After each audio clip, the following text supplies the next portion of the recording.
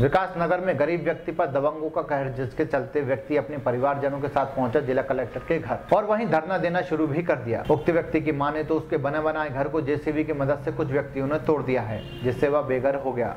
2018 में इस व्यक्ति के द्वारा विकास नगर में एक प्लॉट खरीदा गया था, जिस पर शुरू से ही दबंगों की नज़र थी। वहीं उक्त दबंगों ने उसकी फर्जी रजिस्ट्री भी तैयार करके रखी हुई है। ऐसा इस व्यक्ति का कहना है। इससे पहले भी कई बार वह पुलिस में आवेदन दे चुका है। लेकिन दबंगों की दबंगी के चलते पुलिस भी आज तक मौन बनी हुई है। आज इसी के चलते इस व्यक्ति ने अपने परिवार समेत कलेक्टर के घर के सामने धरना दिया। वहीं दबंगों पर कोई कार्रवाई नहीं होने के चलते कल से स्थानीय हनुमान चौराहे पर धरना देने की बात भी कही।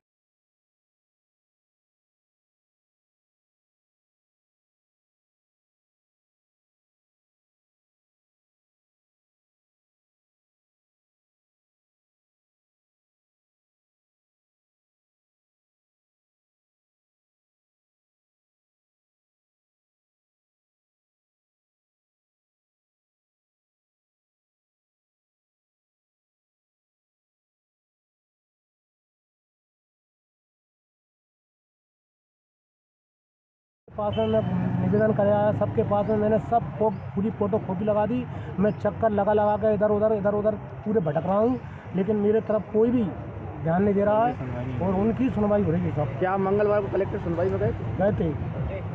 ठीक है।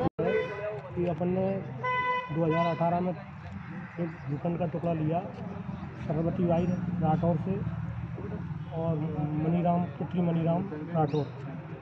जो सत्तावन सौ वर्ग फिट है उसको अपन ने पूरा बाउंड्री बना के कंप्लीट कर ली थी। और वहाँ पे सामान भी पड़ा हुआ था मेरा तो लगभग तीन चार लाख रुपए का था। सामान था।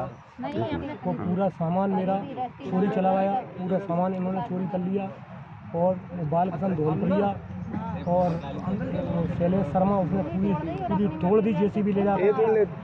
जेसीबी ले जाकर के तोड़ दी और पूरा सामान तोड़ तोड़ तोड़ मोड़ के न जाने कहाँ फेंक दिया मुझे कोई पता नहीं है। और वो सोडोल से आदमी नहीं है। किस जगह का मामला है ये?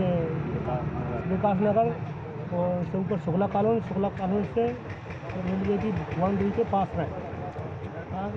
कितने दिन पहले खरीदा था प्लॉट? सर्वे नंबर में। कितने दिन पहले खरीदा था?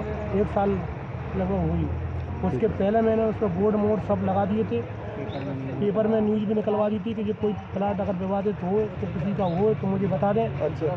लेकिन किसी ने कुछ नहीं संपर्क किया ना किसी ने कुछ बताया। और मैंने पूरी सर्चिंग जानकारी सब मिला कर प्लाट खरीदा था। इसके बाद भी ये तमाम गुंडे मुझे लगातार परेशान कर रहे हैं। करीबन कितने का लिया था आपने प्लाट वो लिया था साढ़े तीन लाख रुपये का। और साढ़े तीन लाख रुपये उसकी खर्चे में लगे एक डेढ़ लाख रुपये और भी खर्चा हो गया। और पाँच छः लाख रुपये अभी निर्माण कार्य में लग चुके थे ठीक है। उसकी रजिस्ट्री वगैरह सब सब रूप है। कागज़ कंप्लीट है मेरे पास। सब चीज़ है मगर ये मैं प्रशासन से ये